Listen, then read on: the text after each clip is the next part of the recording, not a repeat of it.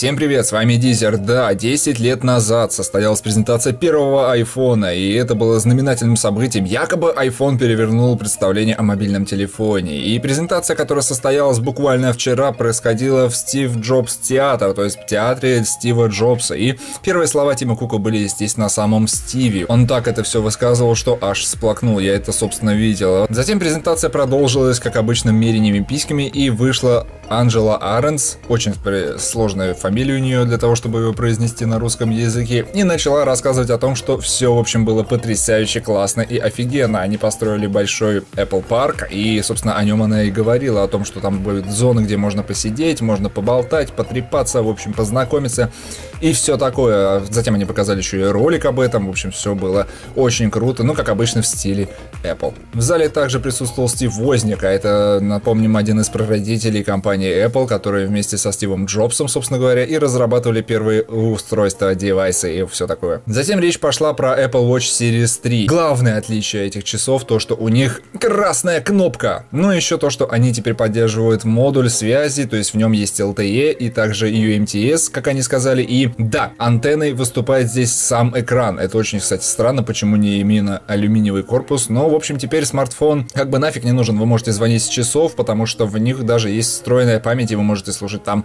музыку. Естественно, они не прошли мимо и рассказали о железной начинке, то, что там двухъядерный процессор, он стал на 70% мощнее, бла-бла-бла. Но, как мы знаем, что часы, в принципе, будут всегда тормозить с выходом новой WatchOS для того, чтобы продвигать продукцию следующую. Например, Series 4, которая анонсирует буквально через год. Далее последовала презентация, точнее показ анонса не телевизора Apple TV, как мы планировали, как мы ожидали по утечке, а на самом деле приставки Apple TV 4K. И там был новый мощный процессор, все такое. В общем, 4K теперь вошло прямо сильно так в массы, и все круто. Также показали игру, которая играется на Apple TV, и типа там, вау, какое офигенное графическое ядро встроенное, все круто и так далее и тому подобное. Ну и далее Apple перешли к айфонам. Что же они говорили про айфоны, так то, что чего айфоны привнесли в мир смартфонов за свои 10 лет. И они, естественно, показали новый iPhone. И это был не 7s Plus или какой-то там еще, а это был iPhone 8. Почему 7s они пропустили, непонятно. Хотя смартфон отличается от семерки только лишь наличием задней стеклянной крышки. Да, теперь там шестиядерный CPU 64-битный, а, все там на несколько процентов стало побыстрее. И самое главное преимущество то, что смартфон благодаря задней стеклянной крышке теперь поддерживает беспроводную зарядку. Да! И Фил Шиллер об этом так сказал, прям как будто вау, они единственные, кто в этом мире добились этого. А то, что у Samsung эта технология есть уже давно, да как бы не важно. Теперь можно писать видео в 4К 60 кадров в секунду, 1080p в 240 кадров в секунду. Ну, в общем, немножко проапгрейдили камеру, причем на софтовом уровне. То есть iPhone 7 якобы по железу не будет тянуть такое, а, такой формат съемки.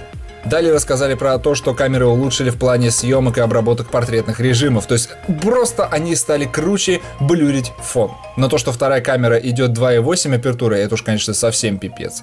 Потом они рассказали про обычную версию телефона, не про плюс, ну там, в общем, ничего интересного. Не упомянули, кстати, ни разу то, что сколько смартфон будет работать от одного заряда.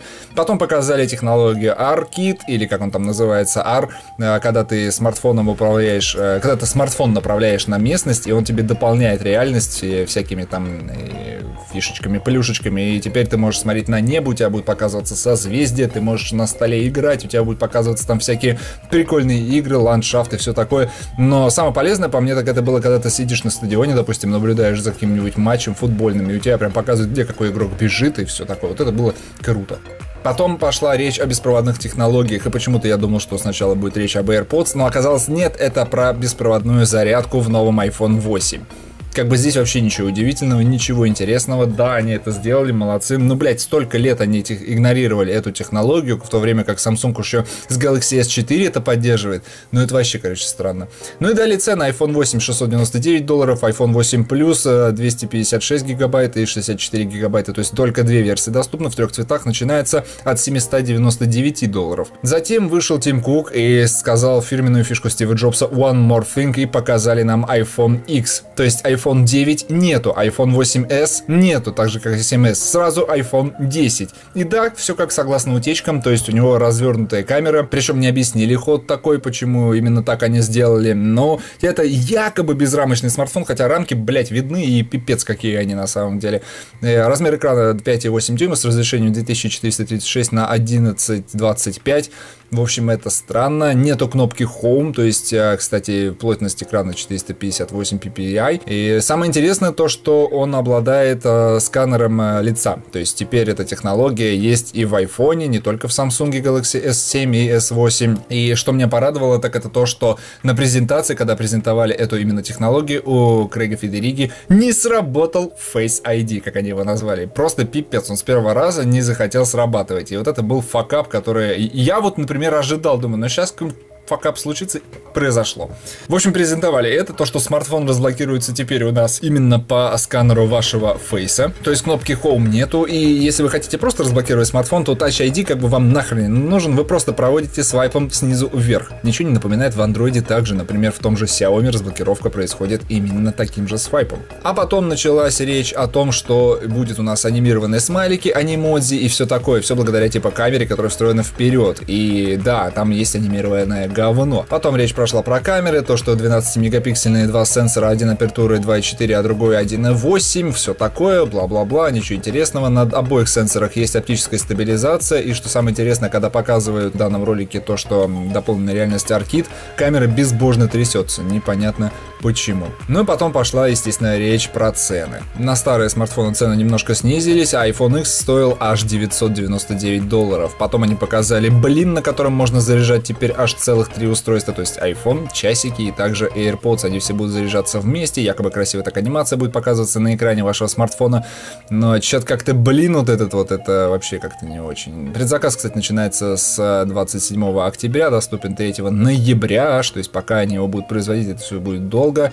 Ну и как бы вот такая вот презентация, я не знаю, я остался от этой презентации вообще ни в каких впечатлениях, то есть меня ничего не удивило, потому что все утечки были, я знал, что Apple когда-то выпустит свой безрамочный смартфон, Поэтому, ну, такое. Как бы догоняют рынок китайцев и корейцев, а в плане Samsung, так что вот как-то так. Ставьте лайк, если вам понравилось, подписывайтесь на канал, все социальные сети, которые есть в описании. До новых встреч, совсем скоро увидимся. Пока.